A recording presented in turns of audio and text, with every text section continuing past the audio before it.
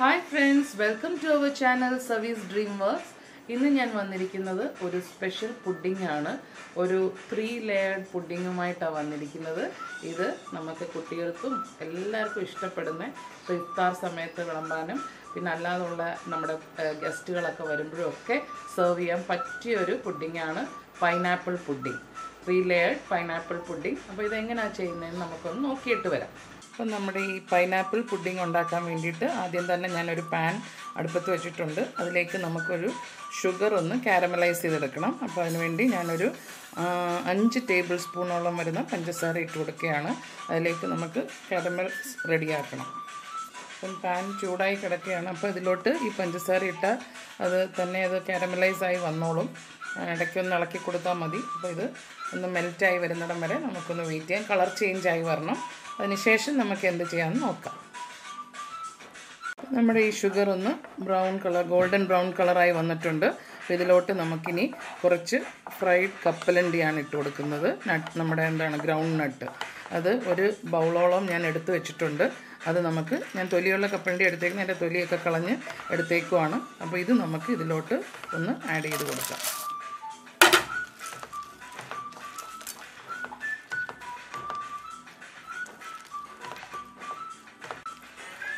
Caramel സിറപ്പിലേക്ക് നമ്മൾ ഈ nuts കപ്പലിന്റെ ഇട്ട് കൊടുത്തേക്കുമാണ് ഇതൊന്ന് ഇതിനകത്തോട്ട് മിക്സ് ചെയ്തെടുത്തിട്ട് നമുക്കൊരു പാനിലോട്ട് ഇതൊന്ന് ഹാർഡൻ ചെയ്യാനായിട്ട് വെച്ച് കൊടുക്കാം. ഇതിന്റെ ആവശ്യം എന്താണെന്ന് നമുക്ക് അവസാനം ഞാൻ പറഞ്ഞു തരുന്നതായിരിക്കും ഇതൊന്ന് കൂളാവാനായിട്ട് നമുക്ക് ഇനി എന്താ ചെയ്യേണ്ടതെന്ന് കാണാം.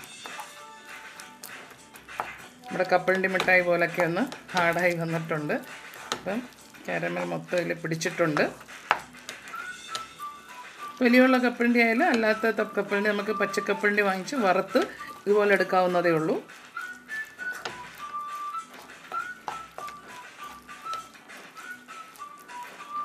ഇനി ഇത് ഞാനൊരു പ്ലേറ്റിലോട്ടൊന്ന് ട്രാൻസ്ഫർ ചെയ്ത് കാണിച്ചു തരാം. ഒരുവിധമായിട്ടുണ്ട്. നല്ല ഹാർഡനായി വന്നിട്ടുണ്ട്. അതെ. ഇവിടെ ഓയിൽ ചെയ്ത് ഞാനൊരു പാത്രം എടുത്തിട്ടുണ്ട്. നമ്മുടെ ഫ്ലെയിമൊക്കെ ഓഫ് ചെയ്ത് കൊടുത്തു. ഇതിലോട്ട് നമുക്ക് ഈ ഒരു കപ്പലണ്ടിയുടെ മിക്സ് അങ്ങ് ട്രാൻസ്ഫർ ചെയ്ത് കൊടുക്കാം. നമ്മുടെ കപ്പലണ്ടി മൊത്തം ഇതുപോലെ ഈ കാരമലുമായിട്ട് നമ്മൾ ഹാർഡ് ആവാനായിട്ട് വെച്ചിട്ടുണ്ട്. ഇതൊരു പ്ലേറ്റ് എണ്ണ പുരട്ടിയ ഒരു പ്ലേറ്റിലോട്ട് കോട്ട് ചെയ്ത് വെച്ചേക്കുവാണ്. അപ്പോൾ നമുക്കിതിനി അവസാനം എന്താ ചെയ്യേണ്ടതെന്ന് പറഞ്ഞുതരാം. ഇതങ്ങോട്ട് മാറ്റി വെക്കാം ഇനി നമ്മുടെ പുഡിങ്ങിന്റെ ഫസ്റ്റ് ബേസ് ഉണ്ടാക്കുകയാണ് ബേസ് ലെയർ നമ്മൾ ഈ പുഡിങ്ങിന് ഒരു ത്രീ ലെയറാണ് അപ്പോൾ അതിന്റെ ഫസ്റ്റ് ലെയർ ഉണ്ടാക്കാനുള്ള പാലാണ് ഞാൻ എടുത്തിരിക്കുന്നത് നമ്മുടെ ഒരു ലിറ്റർ പാൽ ഞാൻ എടുത്തിട്ടുണ്ട്. നമ്മുടെ നമ്മളിത് സെറ്റ് ചെയ്യാൻ എടുക്കുന്ന പാത്രത്തിന്റെ അളവിനനുസരിച്ചാണ്. നിങ്ങളുടെ പാത്രം ചെറുതാണെങ്കിൽ അര ലിറ്റർ പാൽ എടുത്താൽ മതി. അപ്പോൾ എനിക്ക് കുറച്ച് വലിയൊരു ബൗളായതുകൊണ്ട് ഞാൻ ഇച്ചിരി കൂടുതൽ പാലെടുത്തേക്കുവാണ് ഒരു ലിറ്റർ പാൽ ഇത് നമ്മുടെ ഈ പാനിലേക്ക് ഞാൻ ഫ്ലെയിമൊന്നും കത്തിച്ചിട്ടില്ല. അപ്പം നമുക്ക് പാലങ്ങ് ഒഴിച്ചു കൊടുക്കാം.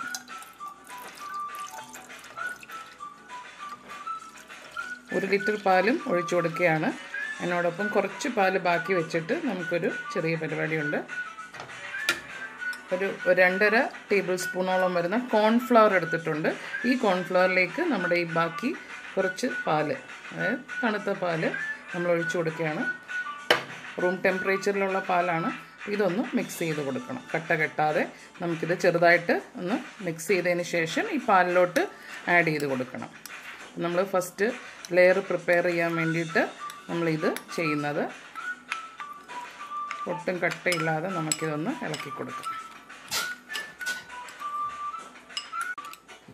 ഈ കോൺഫ്ലവർ മിക്സ് റെഡി ആയിട്ടുണ്ട്. ഇതിന്റെ കട്ടയെല്ലാം മാറി ഞാനിത് ഈ ഒരു ലിറ്റർ പാലിലേക്കൊന്ന് ആഡ് ചെയ്ത് കൊടുത്തിട്ടുണ്ട്.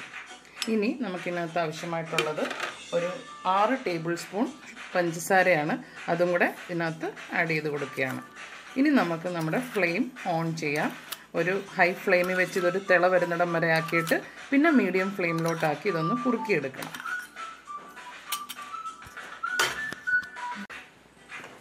നമ്മുടെ ഈ പാലിന്റെ മിക്സ് റെഡിയായി വരുന്നുണ്ട്. അതെന്റെ കുറുകി വന്ന് തുടങ്ങുന്നുണ്ട്.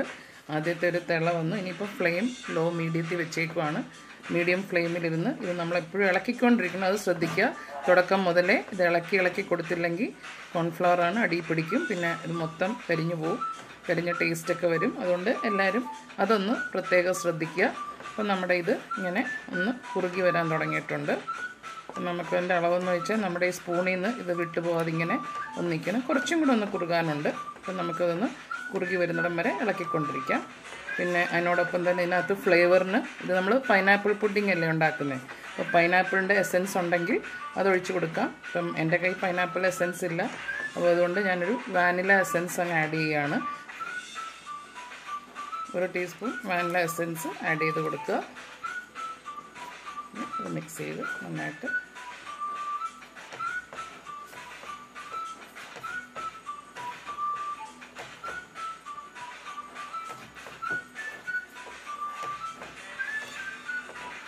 നമ്മുടെ ഒരു കസ്റ്റേർഡിന്റെയൊക്കെ ഒരു പരുവത്തിലേക്ക് ആയി വരണം.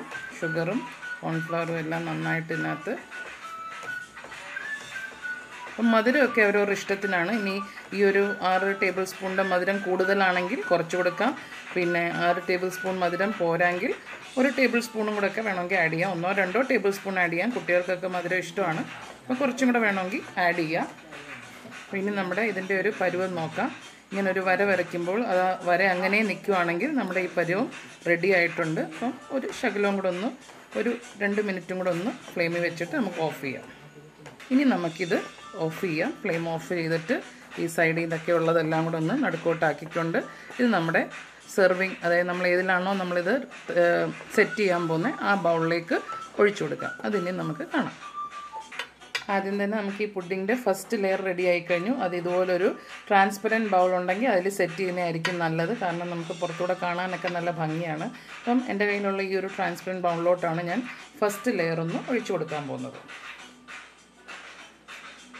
നമ്മൾ ചൂടോടെ തന്നെ ആ ഫസ്റ്റ് ലെയർ നമുക്ക് ഇതിലോട്ട് ട്രാൻസ്ഫർ ചെയ്ത് ഒഴിക്കും. ഇത് നമുക്ക് സെറ്റ് ചെയ്യാനായിട്ട് വെക്കണം. ഒരു ഒരു മണിക്കൂറോളം ഇത് സെറ്റായി വരണം. ഇതിന്റെ ചൂടൊക്കെ ഒന്ന് മാറണം. അപ്പോഴത്തേക്കും നമുക്കിനി അടുത്ത സെക്കൻഡ് ലെയറിലേക്കുള്ള സെറ്റിങ്സ് നോക്കാം.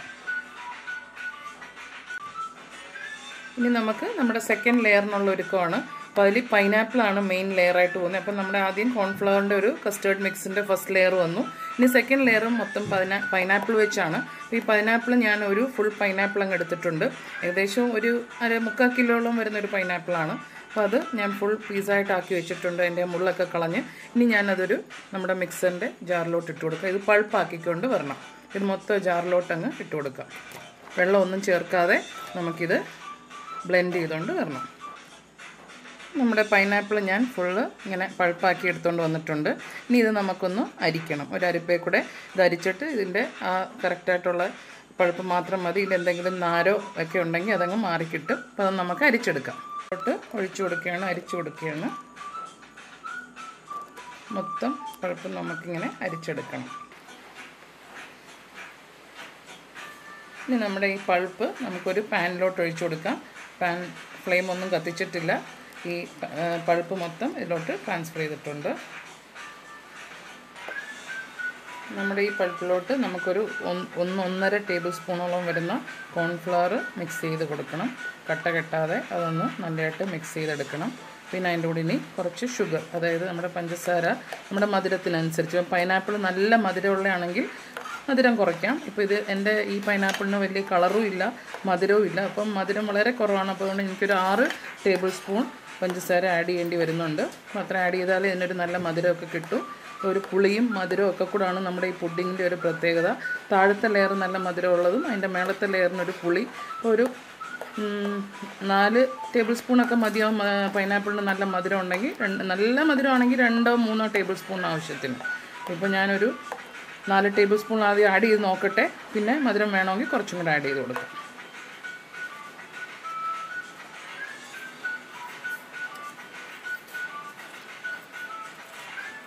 ഒരു നാല് ടേബിൾ സ്പൂൺ ഷുഗറും കൂടെ ആഡ് ചെയ്തിട്ടുണ്ട്. ഇനി ഇതിന് ഇച്ചിരി കളറ് കുറവായിട്ട് എനിക്ക് തോന്നുന്നുണ്ട്. എന്റെ ഒരു ശകലം മഞ്ഞ കളറിന് വേണ്ടിയിട്ട് ഞാനൊരു ഫുഡ് കളർ ആഡ് ചെയ്ത് കൊടുക്കുന്നുണ്ട്. മഞ്ഞ ഫുഡ് കളർ ആഡ് ചെയ്ത് കൊടുക്കുന്നുണ്ട്. അതായത് പൈനാപ്പിളിന് നല്ല കളർ ഉണ്ടെങ്കിൽ ഫുഡിന്റെ ഫുഡ് കളറിന്റെ ആവശ്യമൊന്നുമില്ല. ഞാനിത് ഫോട്ടോ ഒക്കെ എടുക്കുമ്പോൾ ഇച്ചിരി കളർഫുൾ ആവാൻ വേണ്ടിയിട്ട് ഒരു ഫുഡ് കളറും കൂടെ ആഡ് ചെയ്യുകയാണ് എന്നിട്ട് നമുക്ക് ഫ്ലെയിം ഓൺ ചെയ്യാം. ഫ്ലെയിം ഓൺ ചെയ്തിട്ടുണ്ട്. ഇനി നമുക്കിത് കണ്ടിന്യൂസ് ഇളക്കി കൊടുത്തുകൊണ്ടിരിക്കണം ഇത് ഒരു ചെറിയ തിക്നെസ് ആകുമ്പോഴത്തേക്ക് നമുക്കെടുക്കാം. കാരണം ഇതൊരു ജെല്ലി ലെയർ പോലെ നമുക്ക് നമ്മുടെ പുഡിങ്ങിന്റെ മേളിൽ സെറ്റ് ചെയ്യാനായിട്ടാണ്. ഏകദേശം ഒരു മണിക്കൂർ കഴിയുമ്പോൾ മറ്റേത് നമുക്കൊന്ന് സെറ്റ് ചെയ്യാം. ഞാനത് തണുത്ത് കഴിയുമ്പോൾ ഫ്രിഡ്ജിലോട്ടെടുത്ത് വെക്കുന്നതാണ്. ഫ്രിഡ്ജിലോട്ട് വെച്ചതിന് ശേഷം മാത്രമേ നമ്മൾ ഈ ഒരു ലെയർ ഒഴിച്ചു കൊടുക്കത്തുള്ളൂ. നമ്മുടെ ഈ കൺസിസ്റ്റൻസി ഒന്ന് കുറുകി വരാൻ തുടങ്ങിയിട്ടുണ്ട്. അപ്പോഴത്തേക്ക് നമുക്ക് ചെറുതായിട്ട് ഫ്ലെയിം ലോ ആക്കി കൊടുക്കാം. അപ്പം ഇനി ലോ ഫ്ലെയിമിൽ ഒരു ലോ ടു മീഡിയം ഫ്ലെയിമിൽ ഇത് നന്നായിട്ടൊന്ന് കൂടെ ഒന്ന് ചെറുതായിട്ട് കുറുക്കിയെടുക്കണം. അപ്പോൾ ഈ പുഡിങ്ങിന്റെ പ്രത്യേകത എന്ന് വെച്ചാൽ ഏത് പുളിയുള്ള ഫ്രൂട്ടുമായിട്ട് നമുക്കിങ്ങനെ ഒരു പുഡിങ് തയ്യാറാക്കാം. അപ്പോൾ സ്ട്രോബെറി ആണ് നിങ്ങളുടെ കയ്യിലുള്ളതെങ്കിൽ സ്ട്രോബെറി വെച്ചുണ്ടാക്കാം. അതുപോലെ തന്നെ മുന്തിരിങ്ങ നല്ല ജ്യൂസ് മുന്തിരിങ്ങ ഉണ്ടെങ്കിൽ നല്ല വയലറ്റ് മുന്തിരിങ്ങ ഉണ്ടെങ്കിൽ അത് വെച്ചുണ്ടാക്കാം. അപ്പോൾ പുളിയുള്ള ഫ്രൂട്ട്സാണ് ഈ ഒരു പുഡിങ്ങിന്റെ കോമ്പിനേഷനായിട്ട് വരുന്നത്. പിന്നെ നമ്മുടെ ഒരു ഫങ്ഷൻസിനും ഗസ്റ്റുകളും ഒക്കെ വരുമ്പോൾ നമുക്കിത് ഉണ്ടാക്കി കൊടുക്കാം. അതുപോലെ തന്നെ ഇപ്പോൾ ഇഫ്താറിനും ഒക്കെ നമുക്കിത് തലേന്ന് റെഡിയാക്കി വെച്ചില്ലെങ്കിൽ നമ്മൾ ഫ്രീ ആയിട്ടിരിക്കുമ്പോൾ റെഡിയാക്കി വെച്ചാൽ വൈകിട്ട് ഇഫ്താറിനും നല്ല തണുപ്പായിട്ടൊരു പുഡിങ് തണുത്തൊരു പുഡിങ് ഒക്കെ കഴിക്കാം. അപ്പോൾ ഇത് നിങ്ങൾക്ക് ട്രൈ ചെയ്ത് നോക്കാവുന്നതേ ഉള്ളൂ. ഇത് എന്റെ ഒരു ഫ്രണ്ട് എനിക്ക് പറഞ്ഞു തന്നൊരു റെസിപ്പിയാണ് അപ്പം ജ്യോതി എന്നാണ് പേര്. അപ്പോൾ ജ്യോതിക്ക് ഒരു താങ്ക്സ് പിന്നെ അഥവാ നിങ്ങൾക്ക് ഈ ഒരു കൺസിസ്റ്റൻസിയിലോട്ട് ആയി വരുന്നില്ലെങ്കിൽ നിങ്ങളുടെ ഒരു ക്വാണ്ടിറ്റി കൂടുതലോ കുറവാണെങ്കിൽ അതിനനുസരിച്ച് കുറച്ച് കോൺഫ്ലവറും കൂടെ ആഡ് ചെയ്ത് കൊടുക്കാം. ഒന്നര എന്നുള്ളത് ഒരു കാൽ ടീസ്പൂൺ കൂടെ ഒക്കെ കോൺഫ്ലവർ ആഡ് ചെയ്ത് കൊടുക്കാവുന്നതേ ഉള്ളൂ. പിന്നെ അതുപോലെ തന്നെ ശ്രദ്ധിക്കേണ്ട കാര്യം ഇത് അടി പിടിച്ചു പോരുത്. എപ്പോഴും നമ്മളിങ്ങനെ ഇളക്കിക്കൊണ്ടിരിക്കണം. പുഡിംഗ് ഉണ്ടാക്കുമ്പം പ്രത്യേകിച്ചും ശ്രദ്ധിക്കേണ്ട ഒരു കാര്യമാണ്. അപ്പോൾ ഇത് നമുക്കിവിടെ റെഡിയായി വന്നിട്ടുണ്ട്. ഇനി നമുക്ക് അടുത്ത സ്റ്റെപ്പ് എന്താണെന്ന് നോക്കാം. അപ്പോൾ ഈ കപ്പലിന്റെ മുട്ടായി നമുക്കിനി എന്താ ചെയ്യേണ്ടതെന്ന് നോക്കാം. ഇത് ചെറിയ ചെറിയ പീസുകളായിട്ട് ഒന്ന് ബ്രേക്ക് ചെയ്യുക. എന്നിട്ട് അത് നമുക്കൊന്ന് ക്രഷ് ചെയ്തെടുക്കണം. നമ്മുടെ മിക്സിയുടെ പൊടിക്കുന്ന ജാറിലേക്കിട്ട് ഇതൊന്ന് ക്രഷ് ചെയ്തുകൊണ്ട് വരണം. അപ്പം നമ്മൾ ക്രഷ് ചെയ്തുകൊണ്ട് വന്ന കപ്പലിന്റെയാണ്. ഇതങ്ങ് ഞാൻ ഇതിലോട്ട് ട്രാൻസ്ഫർ ചെയ്യാം. ഇനി നമുക്ക് ഈ പുഡിങ്ങിന്റെ ഇടയ്ക്ക് ചെറിയൊരു കടിക്കാനൊക്കെ ആയിട്ട് കിട്ടാൻ വേണ്ടിയിട്ട് കുറച്ച് പൈനാപ്പിൾസ് ഞാനിങ്ങനെ കട്ട് ചെയ്ത് വെച്ചിട്ടുണ്ട്. അത് ഈ ഫ്ലെയിം ഓൺ ആക്കിയിട്ട് ഈ ചട്ടിയിലോട്ടൊന്ന് വെച്ച് കൊടുക്കാം. ജസ്റ്റ് അതിന്റെ ആ ഒരു പച്ച ഇതൊക്കെ ഒന്ന് മാറി വരാൻ വേണ്ടിയിട്ടാണ് നമ്മളിങ്ങനെ ചെയ്യുന്നത്. ഒന്ന് ചെറുതായിട്ടൊന്ന് ചൂടാക്കിയിട്ട് കൊടുക്കാം. ഇതൊരു ലെയറായിട്ട് നമുക്ക് ഇടയ്ക്ക് വെച്ചാൽ ഈ പുഡിങ് കഴിക്കുമ്പം ഇടയ്ക്ക് ഒരു പൈനാപ്പിളിന്റെ ബിറ്റ്സ് ഇങ്ങനെ നമുക്ക് കഴിക്കാനായിട്ട് കിട്ടുമ്പോൾ ഒരു നല്ല ടേസ്റ്റാണ് ഇതിന്റെ വെള്ളമായി ഒന്ന് മാറി ചെറുതായിട്ട് ഒരു ചെറിയ ഫ്ലെയിമിലാണ് വെച്ച് കൊടുത്തേക്കുന്നത് ചെറുതായിട്ടൊന്ന് ആവി വരുമ്പോഴത്തേക്ക് കുറച്ച് പഞ്ചസാര ഒരു ടേബിൾ സ്പൂൺ പഞ്ചസാര ഇതിന്റെ പുറത്തോട്ടൊന്ന് ചെറുതായിട്ടൊന്ന് സ്പ്രിങ്കിൾ ചെയ്ത് കൊടുക്കണം. അപ്പോൾ ആ പഞ്ചസാരയിൽ കിടന്ന് ചെറുതായിട്ടിതൊന്ന് ക്യാരമലൈസായി വരുന്നതിന് വേണ്ടിയിട്ടാണ് ഇങ്ങനെ ചെയ്യുന്നത് എന്നിട്ട് നമുക്കിത് മാറ്റി വെക്കാം. അപ്പം നമ്മുടെ ഈ പുഡിംഗ് നമ്മൾ ബൗളിൽ സെറ്റ് ചെയ്യാൻ വെച്ചിരുന്നത് ഒരു ഏകദേശം ഒരു മണിക്കൂറായിട്ടുണ്ട്. പുറത്ത് വെച്ച് തണുപ്പിച്ചിട്ട് ഇനി ഫ്രിഡ്ജിലോട്ട് വെച്ചൊന്ന് തണുപ്പിച്ചെടുത്തുകൊണ്ട് വന്നിട്ടുണ്ട്. ഒരു പത്ത് പത്ത് മിനിറ്റോളം ഒന്ന് തണുത്തിട്ടുണ്ട്. ഏകദേശം ഒരു മണിക്കൂറായി. ഇനി ഞാൻ നിങ്ങൾക്ക് കാണാൻ അതിന്റെ മേൽവശമൊക്കെ ഏകദേശം ഒന്ന് ഹാർഡൻ ആയിട്ടുണ്ട്. ഇനി ഞാൻ ചെയ്ത് വെച്ച കാരമലൈസ് ചെയ്ത ആ ഒരു പൈനാപ്പിൾ ഇതിന്റെ മേളിലോട്ട് ചെറുതായിട്ടൊന്ന് നിരത്തി കൊടുക്കുകയാണ്.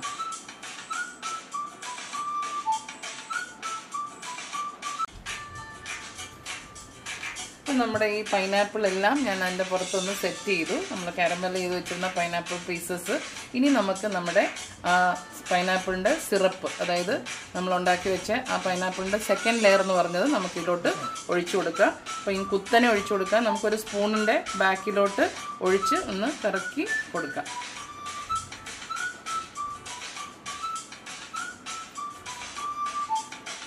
ഇങ്ങനെ ചെറുതായിട്ട് എല്ലായിടത്തും വീഴണം. അപ്പം നമ്മുടെ ഈ ഒരു പൈനാപ്പിൾ ലെയറും ഒഴിച്ചു കഴിഞ്ഞു. ഇനി നമുക്കിത് സെറ്റ് ചെയ്യാൻ വെക്കണം. കുറച്ച് നേരം അത് ഫ്രിഡ്ജിൽ ഏകദേശം ഒരു ഒന്ന് രണ്ട് മണിക്കൂറോളം സെറ്റ് ചെയ്തിട്ട് നമുക്ക് ഫൈനൽ ലെയർ വെച്ച് കൊടുക്കേണ്ടതാണ്. ഫൈനൽ ലെയർ നമ്മുടെ ഗ്രൗണ്ട് നട്ട് ക്രഷ് ചെയ്ത് വെച്ചിട്ടുണ്ടല്ലോ. കപ്പലിന്റെ ക്രഷ് ചെയ്ത ലെയറാണ് വെക്കേണ്ടത്. അപ്പോൾ അത് കഴിയുമ്പോൾ നമ്മുടെ ഈ പുഡിംഗ് ഫൈനൽ ഒരു അഞ്ച് ആറ് മണിക്കൂറോളം നമുക്ക് സെറ്റ് ചെയ്തിട്ട് എടുത്ത് കഴിക്കാനായിട്ട് എടുക്കാവുന്നതേ ഉള്ളൂ. അപ്പോൾ നമ്മുടെ ഈ ഫൈനലി ഈ ഒരു നാൽപ്പത് മുപ്പത് നാൽപ്പത് മിനിറ്റോളം ആയിട്ടുണ്ട്. ഈ രണ്ടാമത്തെ ലെയർ ഒന്ന് നന്നായിട്ട് മേൽവശമൊക്കെ ഒന്ന് സെറ്റായി വന്നിട്ടുണ്ട്.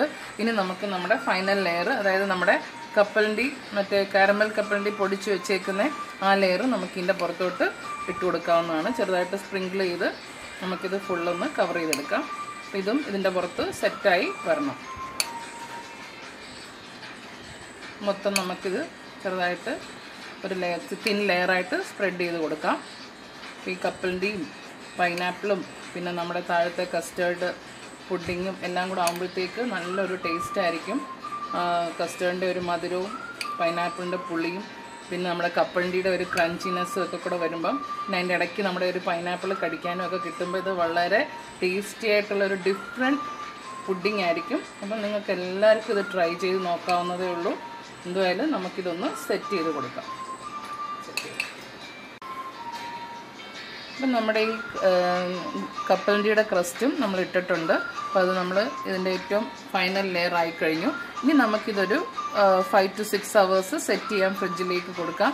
ഇത് നാളെ നമുക്ക് നമുക്ക് നോക്കാം എങ്ങനെ ആയിരിക്കുമെന്ന്. അപ്പോൾ അത് ഫ്രിഡ്ജിൽ പോകുമ്പം ഐസ് ക്രിസ്റ്റൽസ് ഒന്നും ഫോം ചെയ്യാതിരിക്കാൻ ഇതൊന്ന് മൂടി വെക്കണം. അപ്പം നമുക്ക് ക്ലിങ് ഫിലിമോ ഫോയിൽ പേപ്പറോ എന്തെങ്കിലും ഉണ്ടെങ്കിൽ അത് വെച്ച് നമുക്കിത് കവർ ചെയ്ത് കൊടുക്കാം. അപ്പം ഞാനിവിടെ ഒരു ക്ലിങ് ഫിലിം വെച്ചാണ് കവർ ചെയ്യുന്നത്.